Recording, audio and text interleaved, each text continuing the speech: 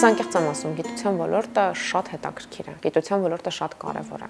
Գիտության ոլորտը մեր երկրի համար առանցքային է, այսինքն հա դու պիտի ինչ-որ բան նվիրես։ Քո առջև բացում է մի նոր աշխարհ, դու նոր գործիքներ ես ստանում, դու կարողանում ես ուսումնասիրություններ կատարել ու առաջին գիտական հոդվածդ որ տպագրվում է մի ողջավորություն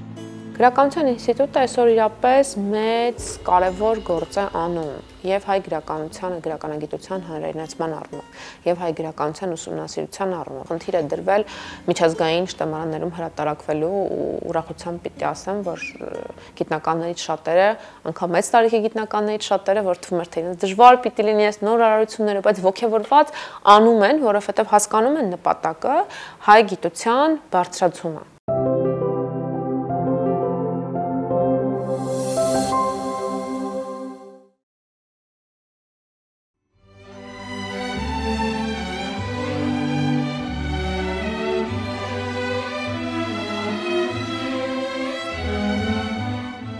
Մոխրոտիկը, որ իմ ամենասիրելի հեքիաթն էր։ Առ այսօր աշխարհում ինչ ֆիլմ է նկարանում Մոխրոտիկի մասին, մուլտֆիլմ, հեքիաթ, տարբերակ, ես այդ միանգամից վերցնում սկսում եմ կարդալ, փոքրուց շատ եմ սիրել այդ հեքիաթը։ Ու միշտ ուզում եմ ես ասում եմ հայկական հաստատ ինչ որ տարբերակ է լինելու, որ ես այդ չեմ գտել, ես այդ պիտի գտնեմ։ Բանահյուսական շատ տարբերակներ ունենք։ Անցած տարի գիտաժողով կար, նվիրված հայկական հեքիաթին, Ես էլ մինչև դա նահանգներից պատվիրել էի Մոխրոտիկ հեքիաթի մասին տարբեր գրքեր, որոնք ուսումնասիրում են հեքիաթի բանահյուսական տարբերակները, տիպերը ու հավաքել է ինձ համար, որ ես մի օր անդրադառնալու եմ դրան ու երբ գիտաժողովի հայտարարությունը տեսա, ասացի եկել եմ Մոխրոտիկի ժամանակը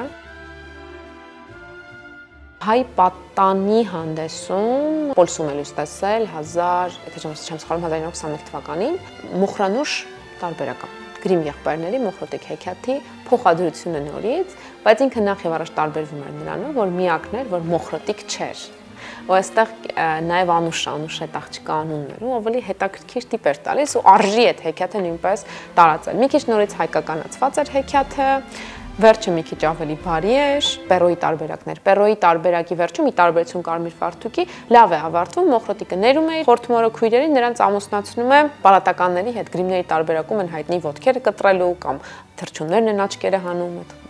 Թումանյանի փոխադրած տարբերակներ։ Այստեղ Պերոյի լավ տարբերակներ փոխադրվել, բայց վերջում մի խնդիր կար, որ Մոխրանուշը բարձրացնում էր, որ եթե հանկարծ դուք քույրերին ձեր ասածները չպահեք, այսինքն ձեզ լավը չպայք ոնց խոստացաք, ձեզ մոխիր ենք քսելու ձեր երեցին ու դուք ինձ նման եք դառնալու։ Իսկ մոխիր քսելը այդ սևացնելու խնդիրն ուներ, նաև հետաքրքիր էր մոխրի ուսումնասիրությունը, երբ ինքնակամ էր ինքը գնում մոխրի մեջ պարկում իրական տարբերակներում։ Դա օջախներ, չէ, դա մոր կարոտի խնդիրն ինքը կրակի մոտ էր պարկում, ասենց ինքը կուչ էր գալիս ինչպես երեխան նոր արգանդում, այսինքն դա իր մոր արտահայտությունն էր։ Ուսումնասիրությունը վերաբերում էր եւ այդ մոխրանուշին, եւ թլկատինցու այգիս փշենին տարբերակին, որտեղ արդեն բանահյուսական հեքիաթի մշակում էր, փերու փոխարեն կարմիր կովի մոտիվն ունեինք, որ կարմիր կովից հերոսուհին կաթեր խմում ու կարողանում էր այդ խորտմրտված բոլոր գործերը շատ արագ կատարել խորտմերն էլ ասում էր կսպանեմ ու իրոք կսպաներ աղջկան, մի ավելի դաժան էր։ Կամ կախարդի փոխարեն ծեր տատիկ է հայտնվում, ով բնությունն է խորհրդանշում ու հերոսուհին